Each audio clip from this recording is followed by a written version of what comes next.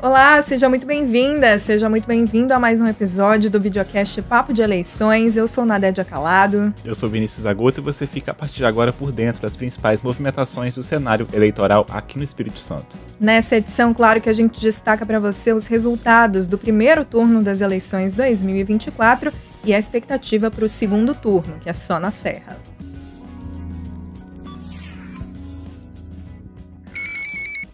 Estamos aqui mais uma vez em quatro repórteres do Núcleo de Eleições da Gazeta, para cada um poder falar da cidade que acompanha mais de perto aqui na Grande Vitória. Eu cubro Vila Velha, Isagoto cobre Vitória, Linha Nunes cobre Cariacica e Tiago Alencar cobre a Serra. Vamos começar pela capital, então, Isagoto, e a gente fala primeiro das eleições de prefeito, mais tarde a gente fala também das câmaras municipais na capital tinha dúvida se haveria segundo turno. E não houve. Lourenço Pasolini do Republicano se reelegeu no primeiro mesmo.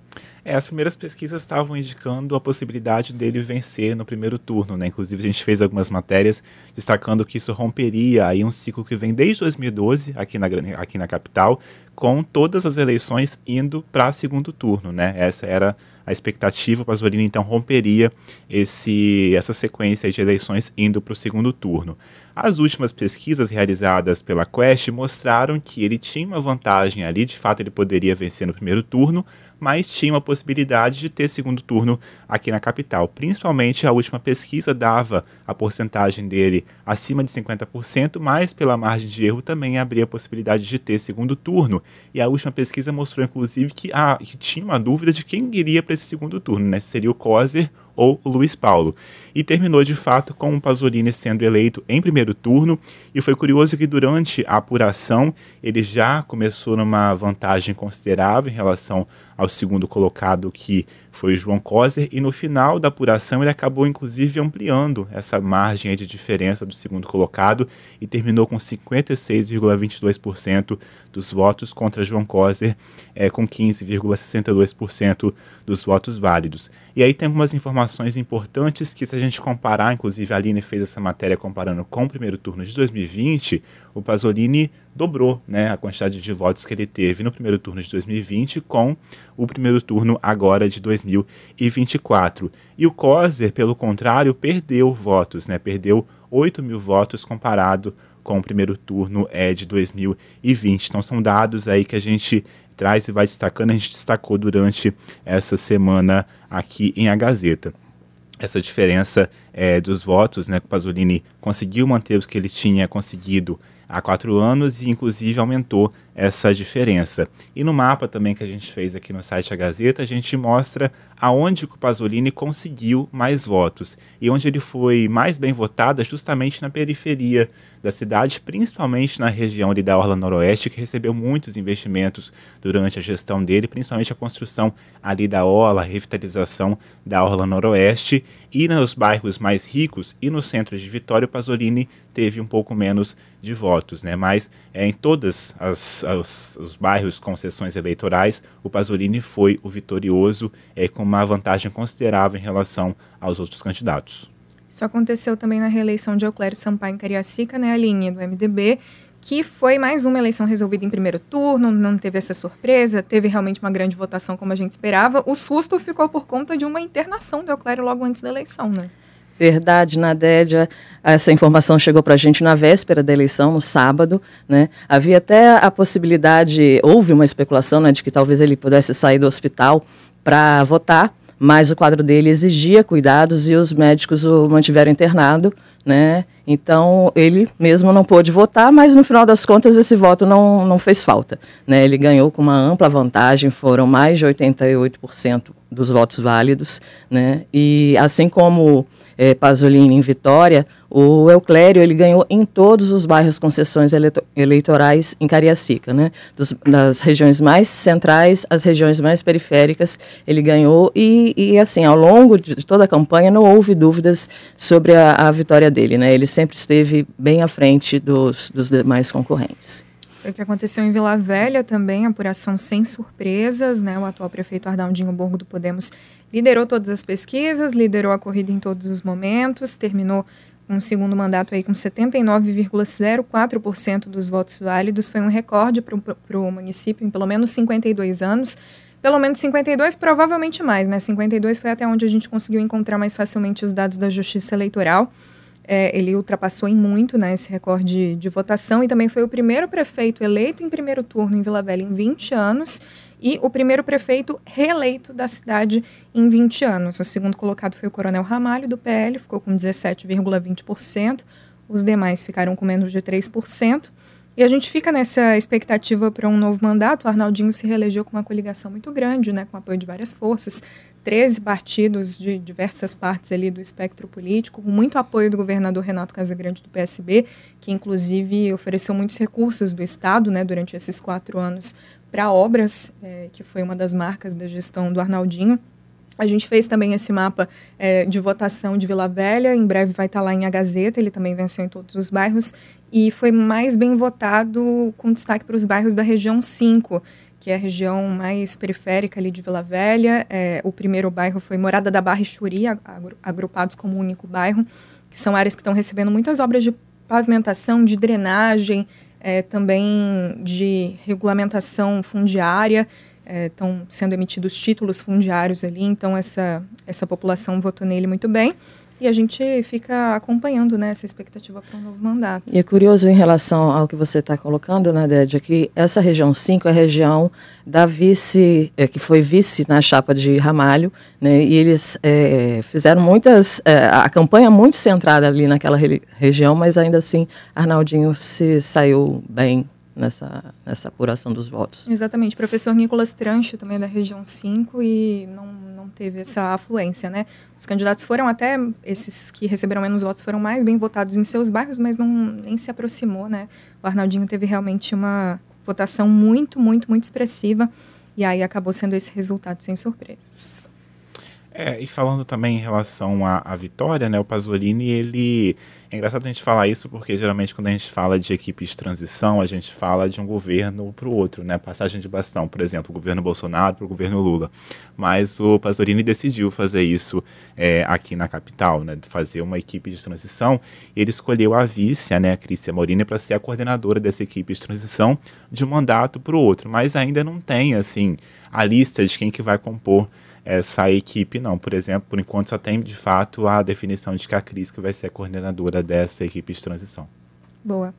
Vamos para o principal, então, né? Que é o que ficou em aberto, Tiago Alencar, a Serra, que é o único lugar que vai ter segundo turno. Não é nem o segundo turno que a gente esperava, né? Ter segundo turno a gente sabia, que a gente não sabia que o ex-prefeito Aldifas Barcelos, do PP, ia ficar de fora, né? É isso mesmo, Nadeja. A eleição da Serra é sempre garantindo fortes emoções, uhum. né? E vamos dizer assim, se fosse uma série de TV, a gente poderia dizer que o plot twist veio no domingo, né? Com Aldifas fora aí do, da disputa no segundo turno. O segundo turno não é novidade, né? Assim, pelo tamanho do município, pelo histórico dos candidatos envolvidos, né? Dos grupos políticos que disputam o comando da cidade há bastante tempo, aí há quase 30 anos, né? Se a gente pensar que em quase 50 anos a SR elegeu apenas quatro prefeitos, enfim. É, a grande novidade foi realmente essa, o Aldifas de fora, figurando em terceiro lugar com 23,96% dos votos. E o Everson, né, que era o candidato em que todo mundo menos apostava, assim, desses três que tinham chance ali de brigar pelas cabeças na corrida eleitoral. Ele chegou a ser até, inclusive, questionado por membros do PDT, né, que achavam ele pouco competitivo. E aí ele surge, já nos primeiros momentos da apuração, em primeiro lugar, né, e liderou toda a a apuração das sessões, né? A gente esteve no comitê do Aldifas, na Serra, no domingo, e antes, de, antes mesmo de começar a apuração, o clima já era, assim, de total derrota, o que também chamou bastante atenção, né? Eles podem ter ali, ter tido acesso a algum dado prévio referente a isso, né? E constataram que realmente, assim, historicamente, é, Aldifas ficaria de fora da disputa da prefe pela prefeitura. Ontem ele realizou coletiva, né, para dar o posicionamento dele, como que ficaria agora no segundo turno, se apoiaria alguém, se manteria a neutralidade. E junto com o PP, que é o partido dele, ele decidiu por não apoiar nenhum dos dois candidatos. Durante lá a coletiva, ele disse que não conhecia a história dos candidatos, chegou até mesmo a insinuar que o processo como é, a votação, o resultado da votação aí de repente teria acontecido num processo questionável. Não entrou em detalhes, mas chegou a sugerir. E é isso, assim, eu acho que não só na, na, na, minha avaliação de repórter que cobre a Serra, mas também de especialistas e de, do próprio mercado político, é um sinal de que o eleitor serrano, né, ele se, se manteve muito tempo votando do, do mesmo jeito, né, alternando ali apenas entre Aldifas e Vidigal. Hoje parece que ele está mais aberto para essa renovação, né, que, era, que, que sempre foi um questionamento, né, quando é que a Serra vai querer uma renovação. Então a gente tem aí esse cenário surpreendente, agora a gente tem o Everson e Muribeca aí disputando esses votos, a gente já sabe que eles não vão ter o voto do, do, assim, do eleitoral do Aldifas, né, assim, por parte do apoio do ex-prefeito, e agora eles contam aí com os remanescentes, né, assim, que saíram da disputa é, derrotados. A gente tem aí, ele, ele conta com apoio hoje, o Everson, por exemplo, conta com apoio do PT, que, era, que tinha como candidato o professor Roberto Carlos, e o Muribeca conta com apoio do Novo, que tinha como candidato o Wilson Zon. São apoios mínimos, né, em comparação com o tamanho da votação que eles tiveram, mas ali pode fazer uma diferença na reta final. Agora também é, o PSDB, que tinha indicado a vice é, para o Aldifas, declarou apoio ao Everson né, nessa, nesse, nessa etapa. Isso foi algo bem interessante, assim, ali. Na verdade, o, pelo tamanho do PSDB hoje, assim, né, pelo, o PSDB hoje está com pouca representatividade, representatividade, né, é um partido que está ali minguando, que perdeu protagonismo nacionalmente, e isso vem no efeito cascata nos estados e nos municípios. Mas é de se chamar a atenção, tendo em vista que o presidente do partido, o deputado Mandinho Leite, né, que preside o partido aqui no estado, ele é rival político histórico, né, vamos dizer assim, da história recente da Serra do, do atual prefeito Sérgio Vidigal, né? Então a gente esperava ali pelo menos uma neutralidade ou um ele ir para o apoio do Muribeca, porque, inclusive, a vice do Aldifas chegou a ser discutida para ser indicada na chapa do Muribeca, uhum. né? O que acabou não acontecendo ali por, por questões político-partidárias mesmo, no final das costuras. Isso também foi outro, outro ponto surpreendente, né? Assim, não tem uma importância muito grande pelo, pelo tamanho que o partido está hoje, né? Assim, a representatividade que ele perdeu também, mas foi surpreendente. Verdade. Vamos fazer mais um giro então para falar das composições das câmaras, né? Que afinal é, vão ser elas que vão ajudar ou dificultar a vida desses prefeitos ou futuro prefeito, no caso da Serra. Começar por Vitória, como é que ficou, Zagoto? É, a gente pode ter uma impressão aí, né, baseado no que os especialistas dizem, também no que a gente tem de dados, de que a vida do Pasolini pode ser mais fácil ainda nos próximos quatro anos, isso porque Primeiro a gente vai falar de uma mudança importante que teve na Câmara, né, que é em relação ao número de vereadores. Né? Antes eram 15 vereadores, até esse ano são 15, a partir do ano que vem é, passam a ser 21 vereadores. Então a gente tem aí é, três cadeiras que eram ocupadas por partidos mais à esquerda, agora são seis cadeiras que vão ser ocupadas por partidos mais é, à esquerda, centro-esquerda, é, contra 15 partidos mais de centro, que geralmente votam é, ou votavam mais com é, o Pasolini. E aí, conversando assim com um especialista político, né, um cientista político, ele me disse que é uma situação mais favorável para o Pasolini, porque quando o Pasolini começou na política, né, é como prefeito de Vitória em 2020, ele chega numa situação em que ele só tinha o Piquet, que era do partido dele, delegado Piquet, que depois virou presidente da Câmara, como aliado, né, naquele primeiro mês de gestão ali, depois que ele foi conquistando o apoio de outros partidos durante a gestão. E agora ele já chega numa Câmara com pelo menos 10 nomes aliados a ele, que são 10 nomes é, de vereadores que fizeram campanha para ele durante o período eleitoral. Então ele pode ter um pouco mais de facilidade na aprovação de projetos e de medidas enviadas à Câmara nos próximos quatro anos. Ao mesmo tempo em que esse especialista avalia que a esquerda está mais fortalecida e, e vai também começar essa, essa nova gestão, né, 2025, é, com mais membros e pode ali trazer novos assuntos, novas discussões, tentar talvez dificultar um pouco a vida do prefeito. Ele sim vai ter uma base maior, muito maior do que aquela que ele começou em 2020, mas ele vai ter que lidar também com esse grupo da esquerda que está mais fortalecido, já é uma oposição mais forte do que era é, em 2020, que depois que foi se fortalecendo, né? Com certeza, com a vereadora mais votada sendo do PT, né? A Carla, a Carla Cose, exato. A votação, a gente sabe, todos lá ocupam as mesmas cadeiras, mas chega com um determinado capital político também, né, quando você chega na Câmara. Aline, Cariacica. Pois então, Cariacica manteve o número de vereadores, tinha possibilidade de, de aumentar, assim como Vitória.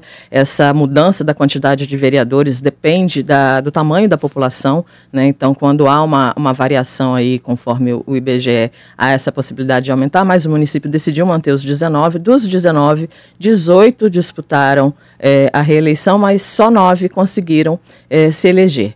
Mas, é, ainda que não tenham sido todos eleitos, né, é, a, a, Câmara praticamente estava toda já com, com o Euclério e pelos partidos que foram eleitos, que é, em sua maioria de centro e centro-direita, é, ele não vai ter dificuldades também na sua gestão. Né, ele já vinha construindo aí ao longo desses quatro anos de mandato. Ele conseguiu agregar muitos partidos, tanto é que foi a maior coligação é, na majoritária, né, ele teve 15 partidos aliados para disputar a prefeitura. Então, isso é, vai se refletir, obviamente, também na Câmara, né, com, com aqueles que foram eleitos para, o próximo, para a próxima legislatura. Perfeito. Em Vila Velha, um cenário parecido, né? A gente teve 12 dos 17 reeleitos, lá também vai aumentar o número de vereadores de 17 para 21. É, foram é, esses 12 reeleitos, tem mais quatro ex-vereadores que vão retornar, dois porque não estavam mais lá mesmo e dois porque foram caçados na última legislatura porque seus partidos respectivos fraudaram a cota de gênero nas eleições de 2020. Eles acabaram só sendo caçados no início desse ano de 2024, mas perderam os mandatos no início do ano. E a gente tem cinco nomes novos. Manteve basicamente um perfil de centro-direita. Atualmente a Câmara de Vila Velha já é muito base de Arnaldinho, tem uns dois vereadores ali que fazem oposição. Isso deve continuar. Também conversei com o cientista político sobre isso, que avaliou que a pouca renovação é um sinal de continuidade, né? Então é, é, isso que deve seguir acontecendo. E tem um outro fator que o Arnaldinho Borgo é ex-vereador, então isso também ajuda ali com o trânsito dele é, na Câmara de Vereadores de Vila Velha, ajudou a passar essas obras, esses projetos que ele passou durante o mandato dele. Então a expectativa é de que continue. E na Serra? Na Serra, é, o quadro é o mesmo, né? Se mantém os 23, as 23 cadeiras, são 23 vereadores. A, a casa passa, a partir do ano que vem, a ter uma renovação de mais 50%. É, quando a gente fala de bancada, o PDT, né, partido do atual prefeito, é a maior bancada. Em caso de uma eleição do Everson, eu acho que ele sai em vantagem, né? Vai conseguir conversar melhor com o legislativo. É, na questão de novos vereadores, são 11 que chegam, 12 na verdade que chegam, com 11 que foram reeleitos. É, a Câmara da Serra, é, assim, falo isso durante, em comparação com outros períodos de cobertura, Hoje ela vive um momento de melhor diálogo com o executivo, né? Eles já tiveram períodos ali de enfrentamento, principalmente na época da gestão Aldifas, né? A gestão Aldifas, ela teve mais dificuldade de lidar com a Câmara, o que a gente viu pouco aí na gestão de Vidigal. E, é, também na última eleição, em 2020, o PDT tinha a maior bancada com três vereadores lá, né, da legenda. E o cenário segue o mesmo para o ano que vem. A gente sabe que durante o, o, o o mandato, né? Alguns vereadores trocam de partido, mudam posicionamento e a gente também mensura o, esse, essa relação por meio dos, das votações, né? Como é que são aprovados, discutidos os projetos do executivo na casa. Então é isso, ficamos por aqui com mais essa edição do nosso Giro de Notícias, do videocast Papo de Eleições. A gente agradece a você pela companhia até aqui, te convida a ficar muito bem informado sobre o segundo turno que vem aí na Serra em agazeta.com.br barra eleições. Lá você encontra os novos episódios que também ficam disponíveis no YouTube, no Instagram ou no seu tocador de podcasts preferido. Muito obrigada e até a próxima. Até mais.